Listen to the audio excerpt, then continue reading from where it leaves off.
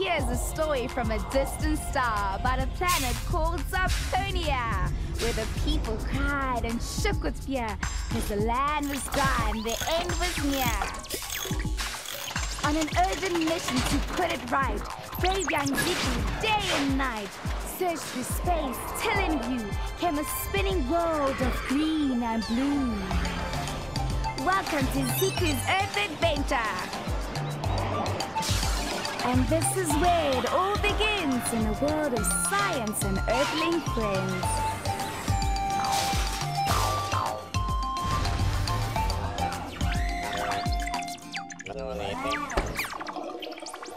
Greetings across the galaxies.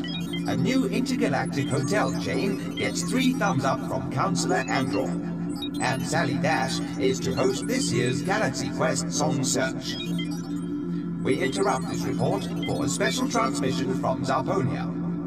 Okay, Zoom, you can come back now. Prime Counselor Z Zando calling Pod Controller Ziku. Calling Ziku. Come in, Ziku. Saudi Sandor. Ziku? There's something wrong? It's Kwaito. Oh, the children's dog. He keeps running away. Oh, do you know the reason? Well, I've been to the zoo, and I think that Kwaito needs his own special place to sleep. I think he needs to be comfortable in his habitat, like the animals at the zoo. Good thinking, Ziku. I found what I was looking for on the transponder. It's called a kennel. It's a doghouse. I'm going to tell Bongi about it. Mmm, I'm still curious about the zoo, Ziku. I know it's a place where humans keep wild animals. What I want to know is why? Why? Well, because people can go and see animals from all over the world in one place. It's exciting. Hmm. How long have they been doing this? And what are the other reasons they have zoos? And how do they look after different animals? I need you to find out more, Ziku. Shop. I love going to the zoo. Shop, shop, shop, shop. Ziku, what is shop? It's an earthing. It means smart or right on. Hey, I wonder if Mbali Bongi would like to come too. Who knows if zoos are smart or good for Earth? But they could be good for Zarponia. Zillion, I need your help with some research before I set out on today's mission. Please find out about old zoos, including the one we've been going to. The first zoos were made by very rich people who liked to collect animals for fun. The first public zoo was in Vienna in Europe. It opened in 1752, more than 250 years ago. So that people can see animals from all over the world? That's right. In 1904, about 100 years ago, a rich man called Herman Eckstein gave a big piece of land to the people of Johannesburg. This became Zoo Lake and the Johannesburg Zoo. At first, there were very few animals in the zoo. Just a lion, a leopard, a baboon, and two porcupines. Back then, animals were kept in small cages. Over the years, more and more animals were brought and donated. The cages changed so that the animals had more space and could live in a more natural habitat. Today, there are about 2,000 animals in the Johannesburg Zoo, and it has to look after the special needs of each of them. Zillion, as always, it's been a pleasure, but I've got a dash. So many animals in so little time. I still need to see Bongi. Ish, life on Earth is so hectic, so... Joe? My name's not Joe. What part of Zillion don't you understand?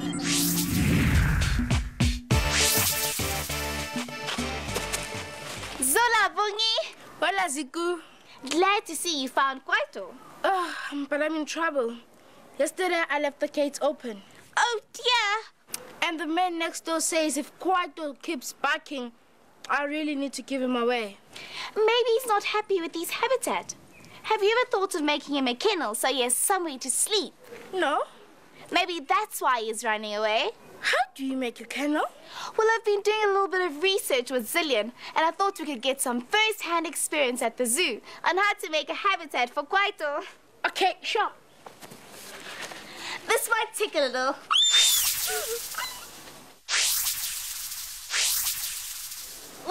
to the Joburg Zoo. Wow, cool! Let's do this again sometime. You seem to be in a cage. And you're out there looking at me? You're standing inside the first lion cage at the zoo. It's more like a prison. Yes, the cage is made from stone and metal. There was very little space for the poor lion to move around. From here, one could see the lions close, except for these bars getting in the way. But there's nowhere to hide here. I bet it's nothing like its natural habitat. In the wild, lions like to live in open grasslands with rocks and a source of water. Lions prefer a warm climate. They like to spend a lot of time sleeping under a tree. That's very different to these old lion cages. You're right. The lions had to adapt to this new life. I don't think I could adapt to a cage like this. But over time, the zoo got better at looking after the lions. Welcome to the zoo's Anglo Gold Lion Enclosure. It was built recently and is still quite new.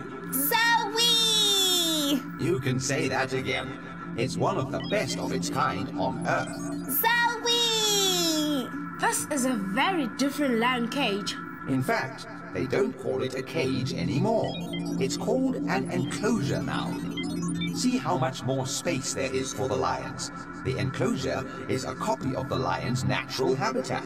It's not a square box at all anymore. That's because nature doesn't come in square boxes. There's so many different places the people can see them from. And now people can get a better idea of how lions act in the wild. It's open so the sun can shine in. A lion loves the sun. A lion also loves to sleep. Here they can sleep in the sun or shade and move about more freely. There are all kinds of different spaces for the lions to explore. They can choose where they want to be. They didn't have so many choices in the old cages. Now they can be alone or in a group. They can hide away if they like it. The zoo tries to stimulate the lions to act like they would in the wild. Lions have a very good sense of smell, so they put wood shavings and other scents in the enclosure. The grass and plants make it easier to keep the lion's space clean. Look, is that their food? No, that's just dried carcasses that are put out for the lions to chew and tear apart. It's more like a snack than a meal. Lions like to chew for a long time on a big bone. The zoo puts the bones in different places so that things are always changing in the enclosure. It's better to look through glass than have bars in the way. It also keeps people's litter out. The zoo no longer needs a sign that says, don't feed the lions. You can still watch the lions close up in the night rooms. There's so much space you could have lots of groups of lions there. That wouldn't work out. There are more groups in the zoo, but they can't be in one enclosure together. Serious? Why? Because two male lions don't like to be in one place. They'll fight to show who's boss. Who's the king of the jungle? Speaking of jungles, see if you can find the old primate cages. Sure, Baba. I love it when you do this. Primates are apes. In their natural habitat, they like to move around a lot and spend a good bit of time in the trees. They are intelligent with good memories. Like the orangutans. That's right. Orangutans are primates. What is this place? It's the old primate cages. The apes used to live here? Uh-huh. Poor apes. Around about the same time that the lion was living in its box of a cage, so the apes also had very small spaces that looked nothing like their natural habitat. So the alley ape cages were like a row of small rooms? Each one of them contained a different ape, so people could walk along and see them all side by side. So they could not see each other. Oh, look, a crazy old monkey. Very funny, boy. It's not nice at all here. The cages are square and the bars are like the old lion's cage. The floors are very smooth and they are flat, very different to the ape's natural habitat in the wild, where apes live mainly in trees and on the rough ground. Obviously, they cared more about the people seeing the apes than the apes being happy in their houses. The apes had to adapt to living like this. It's time to get out of here. Let's go to the new ape enclosure. Wow, Wow! Look, there's so much space here. Much better than the old cages. Chimps are very active, so they need lots of space. So this is more like their natural habitat? Yes, in the wild they like sun and shade, High and low. Rocks and grass. hidden and exposed. And of course, there must be running water. And nice big trees for them to climb. They have so many choices here. They can choose where they want to be and what they feel like doing. Unlike in the cages, Look at them climbing. What's that one doing? chimps use tools to dig for their food. So the zoo hides their food. It's stimulating for the apes. I bet it makes them feel like they're living in the wild. And look how well we can see them. The grass and plants make it more hygienic, right? Like the lions. Quite right. Ah, ah, ah, I wish I was a chimp. Ah, ah, ah, Time to go home, Bongi. Need to report what we've seen today. Do we really, really need to go? I'm afraid so. Oh.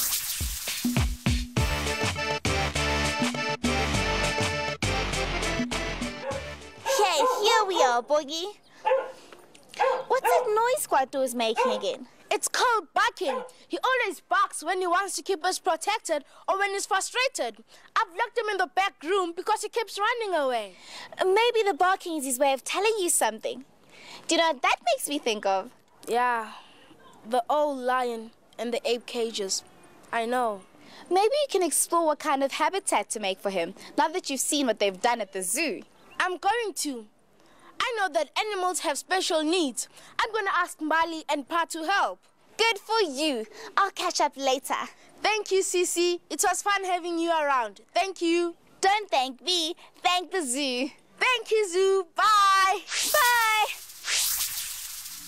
It's so much to tell Xandor, like how different animals have different characteristics, And how they adapt to their habitat. and how they live in different places. And about how the zoo keeps making better and better homes for them. Okay, you can tell Xandor that I'm ready to report.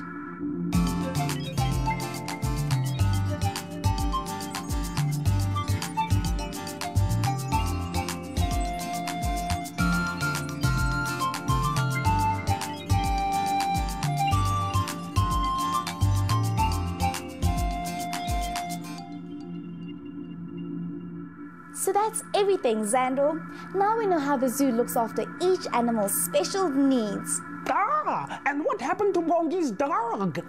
Kwaito's much happier. Bongi's dad built him a kennel to sleep in and shelter from the rain. Bongi gives him lots of water and feeds him very well.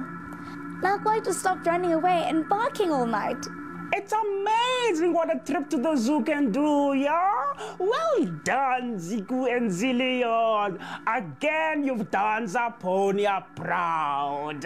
Perhaps you can tame the droids and place them in a galactic zoo, yeah? For observation. It's a very good idea. Very good. Over and out. Zawi! Mission accomplished. Ziazoon, Zillion. Zigazoo, Good night, good Earth. Good luck, brave Zarponia.